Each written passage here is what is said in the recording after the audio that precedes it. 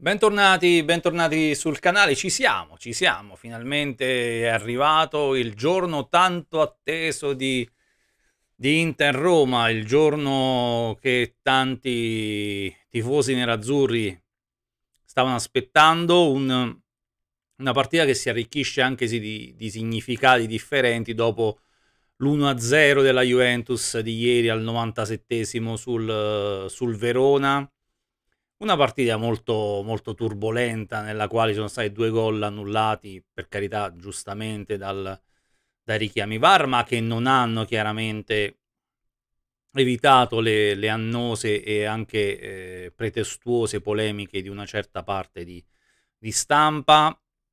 E poi con il gol arrivato praticamente nella, a metà del primo tempo supplementare della, della Juventus sul, un recupero piuttosto corposo dovuto anche, chiaramente una battuta quella di metà del, tempo, del, del tempo supplementare, eh, corposo proprio dovuto anche ai richiami del VAR. Ormai ci siamo abituati e dobbiamo continuare ad abituarci a questi lunghi, lunghi minuti di recupero.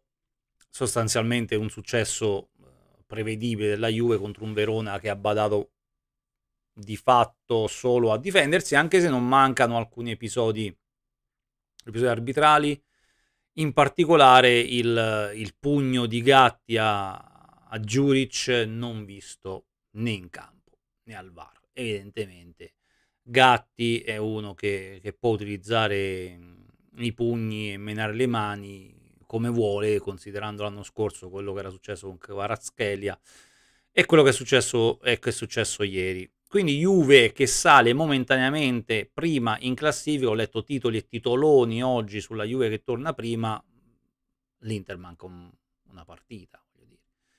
E, eppure al Milan, quindi va bene tutto, però insomma, almeno, almeno quello che, che, è oggettivo andrebbe, andrebbe sottolineato. E allora, allora l'Inter si è raccomandato Inzaghi, ha detto non sarà si è raccontato ai suoi, ai suoi dentro le mura di Appiano perché poi ieri eh, non ha, non ha parlato né lui non ha parlato nemmeno Mourinho.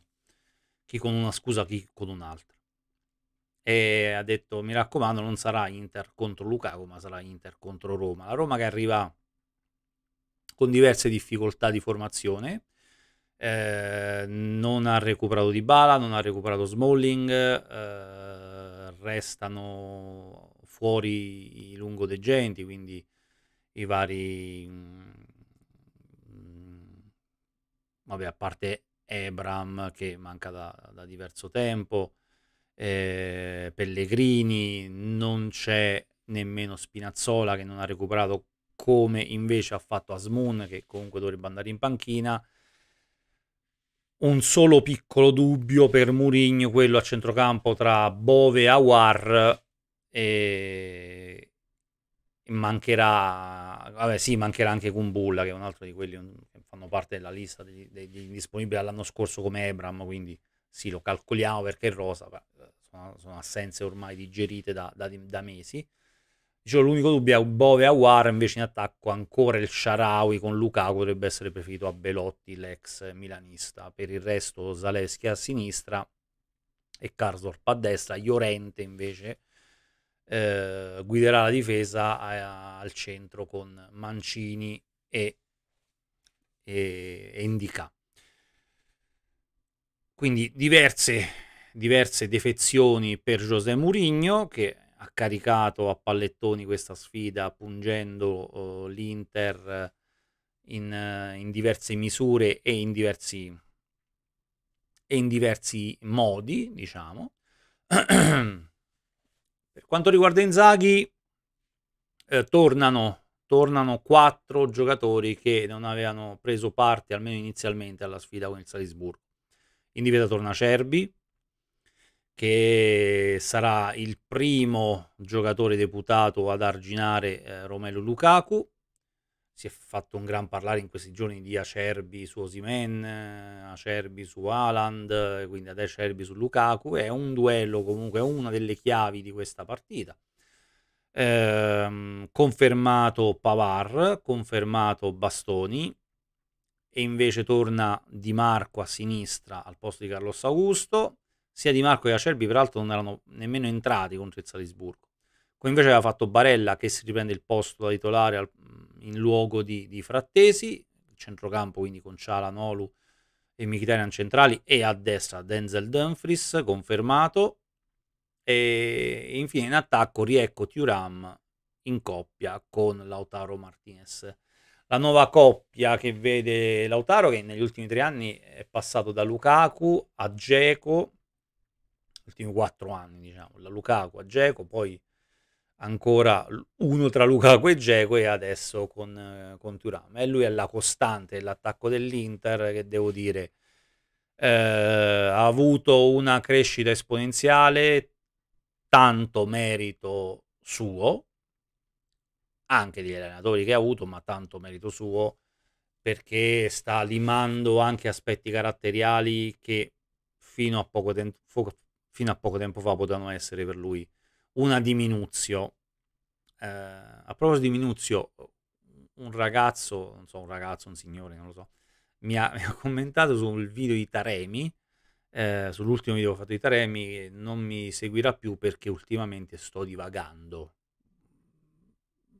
Non ho capito bene in, in che termini io stia divagando, però per carità è una scelta legittima, quindi ci sta, non, non porta assolutamente nessun tipo di rancore, solo mi incuriosiva l'aspetto del, dello stare a divagare perché poi non, è, non, non ha specificato l'autore del, del, commento, quindi non ho capito bene in che, in che, in che termini io stia divagando. E forse era questo il rubinetto, non lo so, ma ogni tanto si alleggerisce anche il discorso anche per instaurare un tipo di, di, rapporto, a parte che è vero comunque, eh, no, il miscelatore no, non, non, è nuovo, quindi non c'è nessun tipo di problema. E poi quando sono accesi i termosifoni, eh, perché ho prov- fatto quella prova, comunque esce l'acqua calda. Invece quando sono spenti, no, quindi è solo lì, non lo so, veramente strano.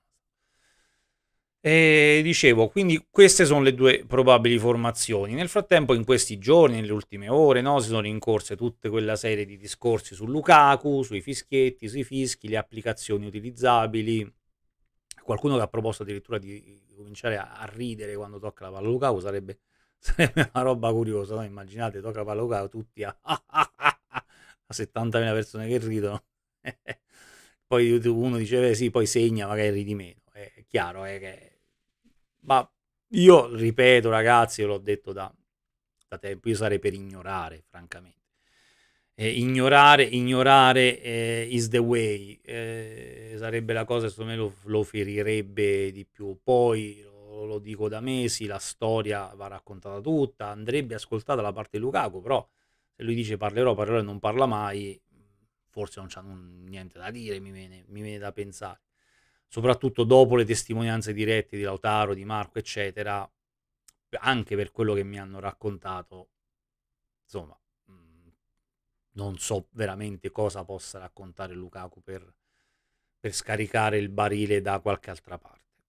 E, è uscita anche la frase eh, che avrebbe detto Ausilio proprio a Lukaku in quel famoso ormai 14 luglio che passerà alla storia non più solo come la presa per la Bastiglia o per il compleanno di mia cugina, ma anche per, eh, per la, la, la, telefonata di 30 secondi tra Lukaku e Ausilio, che in realtà è stata solo di Ausilio a Lukaku, anche se pare abbia chiamato il belga. Ausilio gli avrebbe detto vergognati, non ci si comporta così. Tu, tu, tu, tu, tu, tu, tu, tu, tu. Comunque, Lukaku non Lukaku, fischietti o non fischietti, è una partita che l'Inter deve vincere, è una partita che deve ristabilire anche la priorità nerazzurra su San Siro, perché, perché l'Inter viene dal pari col Bologna e prima ancora dalla sconfitta col Sassuolo. Una squadra che vuole ambire allo scudetto e che deve fare i conti con una Juventus ringalluzzita al di là di come siano arrivati determinati risultati, perché ieri altro che cortomuso, è stato proprio un, un musino proprio, no? Ecco, l'Inter deve ristabilire una supremazia in casa, che è la base sulla quale di solito si fondano le cavalcate vincenti, almeno per quanto riguarda il campionato. Un saluto. Un saluto.